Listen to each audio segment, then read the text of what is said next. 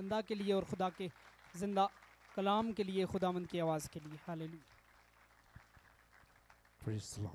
Hallelujah.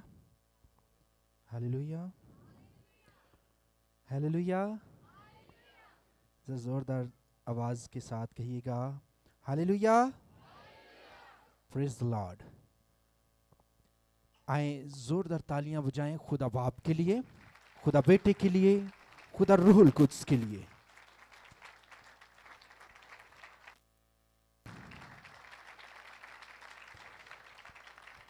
शहनशाहों के शहनशाह के लिए बजा रहे हैं।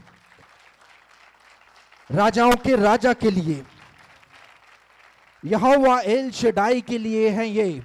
जोरदार तालियाँ बजाइएगा। Praise lord amen amen amen सो खुदावन यसु मसीह के जलाली बाबरकत और अजीम नाम में आप सबकी खिदमत में सलाम पेश करता हूँ।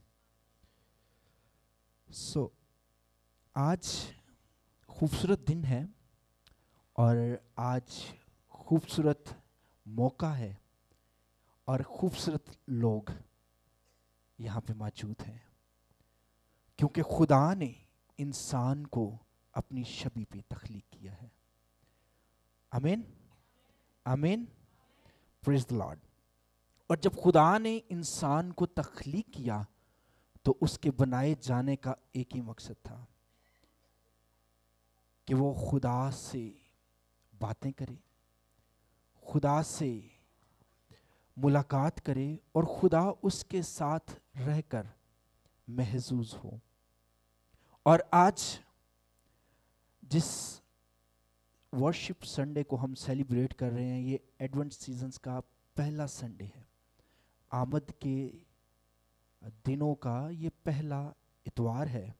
और इस वर्शिप संडे पे हम हर साल क्रिसमस के गीतों को जो है अपने चर्च में इन कर लेते हैं। अपने चर्च में हम क्रिसमस के गीतों का आगाज़ कर देते हैं ताकि हम एडवेंस सीज़न को वेलकम कर सकें हम एडवेंस सीज़न में दाखिल हो सकें। सो so, मैं चाहूँगा कि हम वर्शिप को देखें। वट इज़ वर्शिप हमारी नज़र में वर्शिप क्या है? अगर किसी से कुछ पूछा जाए कि आप वर्शिप को क्या समझते हैं या वर्शिप क्या है तो आपका जवाब क्या होगा?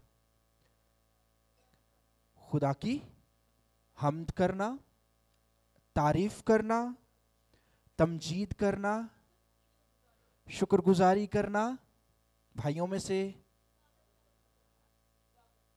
इबादत करना, सजदा करना और उसके नाम को जलाल देना और भी हो सकते हैं, बहुत से मीनिंग हो सकते हैं वर्शिप के।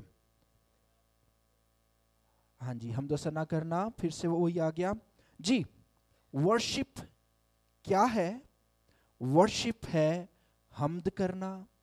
उसके हजूर झुकना, उसकी मदासराई करना, नारे लगाना, सजदा करना, दुआ करना, ये सब के सब जो हैं, ये वर्शिप के जुमरे में आते हैं। और the act we show God goodness वो एक्ट वो काम जिससे खुदा की वडियाई नज़र आए, हर वो काम, हर वो काम जिससे खुदा की वडियाई नज़र आए, वो वर्शिप कहलाता है। आमीन? आमीन?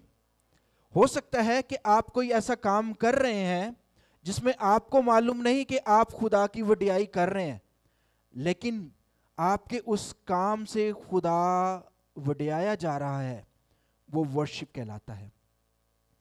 सो so, देखिए मेरे साथ मशहूर ज़माना ये वर्ड्स है। बहुत से लोगों को ज़ुबानी याद होगी। यहुन्ना उसके चौथे बाब की चौबीसवीं आयत। यहुन्ना चौबीसवें बाब की सॉरी चौथे बाब की चौबीसवीं आयत। मरकूम है, खुदा रूह है और ज़रूर है कि उसके परस्तार रूह और सच्चाई से प्रस्तिश करें। फिर से मैं पढ़ रहा हूँ, गौर से सुनिएगा।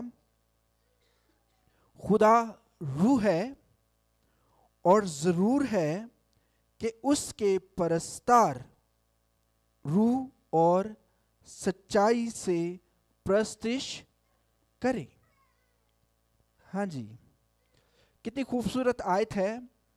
खुदा रूह है और उसके परस्तार जो हैं वो कैसे प्रस्तिश करें? रूह और सच्चाई से। लेकिन हालात काफ़ी जो है ना उल्ट हो गए हैं। हम वर्शिप करते हैं लेकिन रूह और सच्चाई जो है, वो नज़र ही नहीं आती। ऐसे ही है। हम परफॉर्मेंस पे करते हैं। हम परफॉर्मेंस शो करते हैं। हमारी ये होती है कि उसने ऐसे गाया है और हम इससे बेहतर गाकर सुनाएँगे। आपका ताली बजाना भी वर्शिप है। आपका खुदा के साथ दुआ करना, वक्त स्पेंड करना वर्शिप है। जब आप पर्सनल प्रेयर में जाते हैं, तब आपने कभी ऐसा सोचा है कि उसने एक घंटा दुआ किया तो चले मैं तीन घंटे दुआ करूँगा? हाँ जी? लेकिन जब हम वर्शिप के लिए आते हैं ना तो हम यही सोचते हैं कि उसने ऐसा गाया तो मैं इससे अच्छा गाकर सुनाऊँगा। खुदा जो दिलों और गुर्दों को जानने वाला है, वो ऐसा नहीं चाहता कि हम ऐसी वर्शिप करें। लफ्ज यहाँ पे मरकूम है, खुदा रूह है। रूह, खुदा रूह है और इसके बारे में अगर थोड़ा सा मैं आपको ब्रीफ करूँ तो ये ऐसे है कि खुदा रूह है, इसका मतलब ये है कि खुदा का कोई बदन नहीं है। और वो हर जगह पर एग्जिस्ट करता है। आप जहाँ पे भी हैं, खुदा वहाँ पे मौजूद है। फकत आपको उसे जो है एक्सेप्ट करने की ज़रूरत है। और खुदा जो है, वो बदन की तरह महदूद नहीं है, क्योंकि खुदा तो रूह है और वो बदन की तरह महदूद नहीं है और वो हर जगह मौजूद है तो हम हर जगह उसकी वर्शिप कर सकते हैं। है? कर सकते हैं? अमीन जब खुदा रूह है तो हम हर जगह उसकी वर्शिप कर सकते हैं। क्योंकि वो लाम महदूद है। और खुदाउंद यसु मसीह ने भी इस बारे में कहा, जहाँ दो या तीन मेरे नाम से जमा हो, वहाँ मैं मौजूद हूँ। तो जब हम रूहुल कुद्स को अपने साथ लेते हैं तो हम खुदा की प्रस्तिश कर सकते हैं। अमीन आमीन। आमीन। प्रेज द लॉर्ड और सेकंड पार्ट इसके अंदर है रूह। खुदा रूह है और ज़रूर है उसके परस्तार किसके साथ? रू the second person is called रू ये ट्रेनिटी को ज़ाहिर कर रही है वर, ये वर्स. और तीस जो सेकंड पार्ट है ट्रेनिटी का वो रूह है. हम उसको देखें तो रूह के साथ हमें वर्शिप करनी है. और रूह कैसे वर्शिप करता है? अगर हम इस चीज़ को देखें तो वो हमारी वर्शिप को भी दुरुस्त कर देगा। आमीन? लेकिन हम सुर को देखते हैं, ताल को देखते हैं, हम जो है गिटार्स को देखते हैं, हम रिदम्स को चेक करते हैं, हम अपने माइक को चेक करते हैं, हम अपने माइक के इफ़ेक्ट को चेक करते हैं हम ये नहीं चेक करते कि क्या मैं रूह के साथ वर्शिप कर रहा हूँ। अगर आपने इसके बारे में और ज़्यादा ब्रीफली देखना है तो इरफान भाई का ज़रूर सरमन आप चेक कर सकते हैं जो पिछले दिनों में इन्होंने पेश किया था वर्शिप संडे के ही बारे में। मैं बहुत ज़्यादा टाइम नहीं लूँगा। मैं चाहता हूँ कि हम ज़्यादा से ज़्यादा वर्शिप करें ताकि खुदा के नाम को हम बढ़िया सकें। अमीन सो रूह कैसे वर्शिप करता है? रूह कैसे जो है वो खुदा के नाम को बढ़ियाता है और क्या काम करता है? आए देखिएगा मेरे साथ, रोमियो उसके आठवें बाब की छब्बीसवीं आयत। रोमियो आठवें बाब की छब्बीसवीं आयत, यहाँ मरकूम है और इसी तरह रू भी हमारी कमज़ोरी में मदद करता है, क्योंकि जिस तौर से हम को दुआ करना चाहिए। हम नहीं जानते। मगर रूह खुद ऐसी आहें भर भर कर हमारी शिफायत करता है जिनका बयान नहीं हो सकता। हाँ जी रूह कैसी दो आ, कर रहा है वर्शिप आहें भर भर कर। और हम कैसी वर्शिप कर रहे हैं? हम दूसरे पर हंस हंस कर। हाँ जी? दूसरे को क्रिटिसाइज करते हैं हम। दूसरे को हम निशाना रखते हैं। लेकिन यसु मसीह ने इसके बारे में एक और बात कही थी। तुझे अपने भाई की आँख का नहीं नहीं नहीं, नहीं। उल्टा बोल गए जी। तुझे अपने भाई की आँख का तिनका नज़र आता है, मगर अपनी आँख का, अब तिनका बड़ा है या शहतीर? शहतीर बड़ा है। तो हमारी वर्शिप कैसी है? हमारी जो वर्शिप है हाँ या हमारी नेक निश्ती, या हमारी नेकियाँ, खुदा की नज़र में तो वो कैसी हैं जी? ज़रा ऊँची आवाज़ में, आवाज़ बड़ी अच्छी आई है और ये जानी पहचानी है मेरी मिसिज हैं। हाँ जी, मेरी बेगम की आवाज़ है। जी जी, हमारी जो क्वालिटीज़ हैं, हमारी जो तमाम तर जो कह लें कि सलाहियतें हैं, वो ऐसी हैं जैसे गंदी दजियों की वालिद तो फिर हम कैसे कह सकते हैं कि मैंने उससे अच्छा गाया? फिर हम कैसे कह सकते हैं कि मैंने उससे अच्छा बजाया? या फिर मैं कैसे कह सकता हूँ कि मैंने उससे अच्छी दुआ की? या मैं ये कैसे कह सकता हूँ कि मैंने उससे ज़्यादा बेहतर तौर पर कलाम सुनाया है? हम ऐसा नहीं कह सकते। क्योंकि ये सारी बातें किसके जुमरे में आ रही हैं? वर्शिप के जुमरे में आ रही हैं।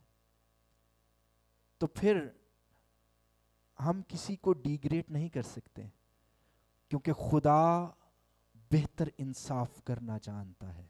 अमीन अमीन जी, खुदा रूह है और ज़रूर है कि उसके लोग रूह और सच्चाई से, रूह और सच्चाई से उसकी प्रस्तिश करें। और हमने खुदा के बारे में जाना कि खुदा रूह है और वो कहीं एक जगह पे एग्जिस्ट नहीं करता, वो हर जगह पे मौजूद है और जो काम हम करते हैं, वो वर्शिप कहलाता है। याद रखिए, वो काम जो अच्छा काम है।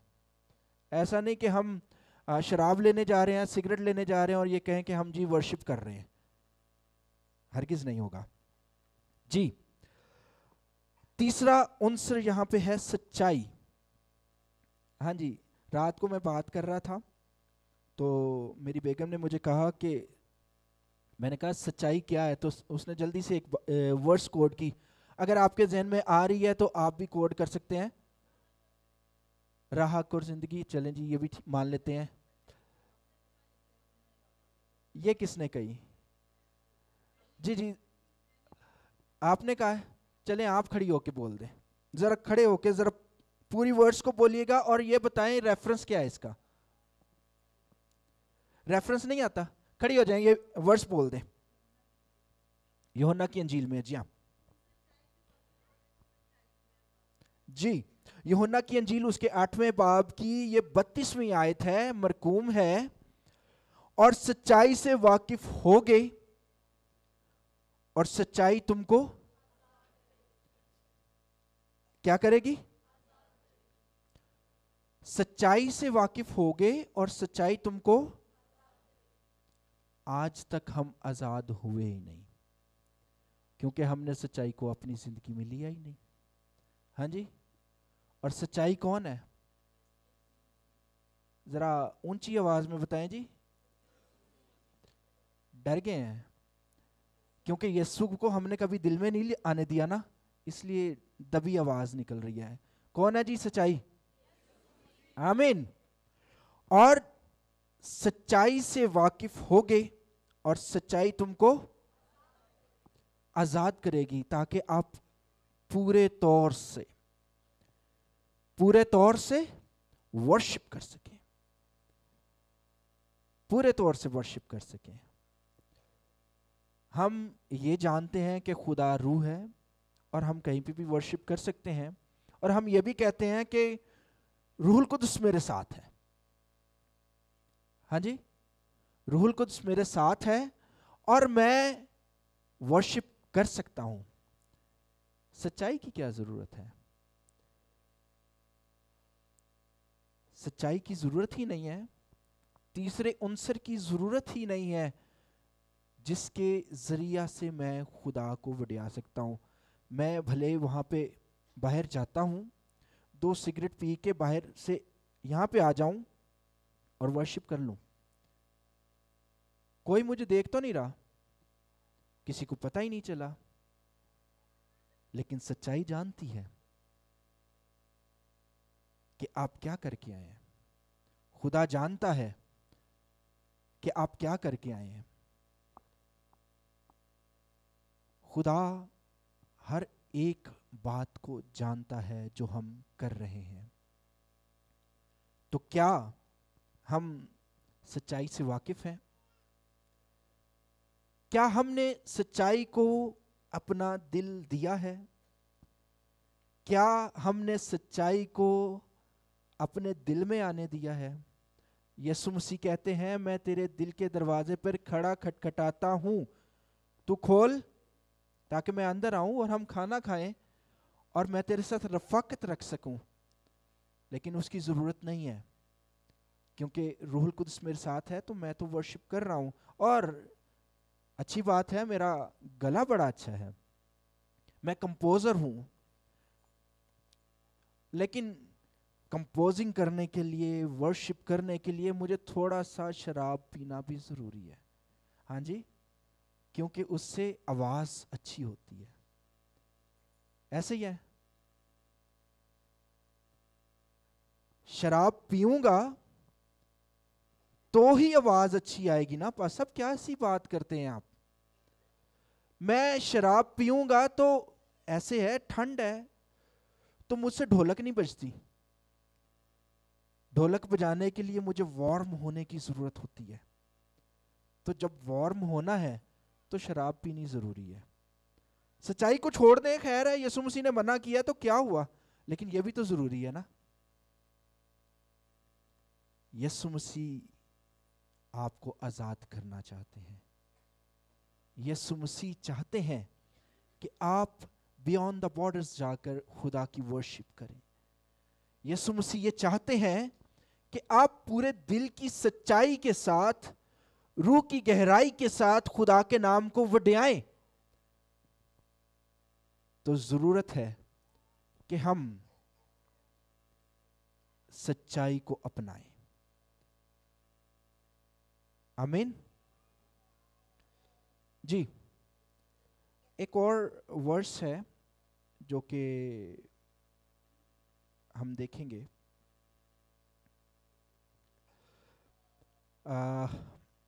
यूहन्ना की इंजील उसके चौथे बाप की तेईसवीं आयत।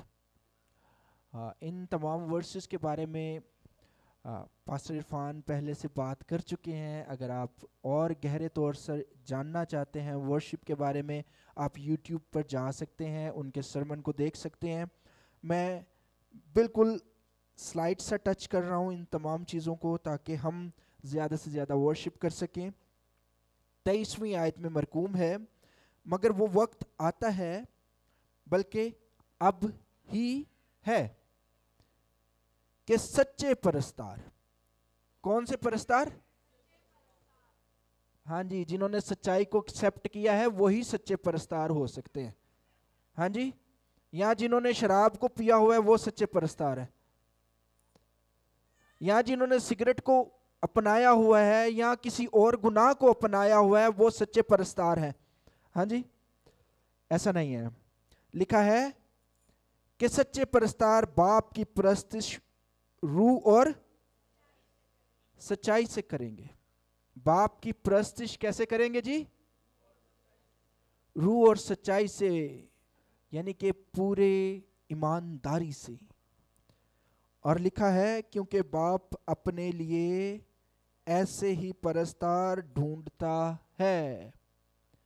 क्या करता है? ऐसे परस्तार ढूंढता है। ये सेंटेंस जो है, ये कंटिन्यूस सेंटेंस है। ढूंढता है। Still he is looking for वो ढूंढ रहा है। क्योंकि यहाँ पे आने वाला जो है, वो बहुत जल्द जो है, वो घुमराह हो जाता है। जैसे ही वो देखता है ना, चार, दस, पंद्रह, बीस सौ लोग मेरे सामने हैं।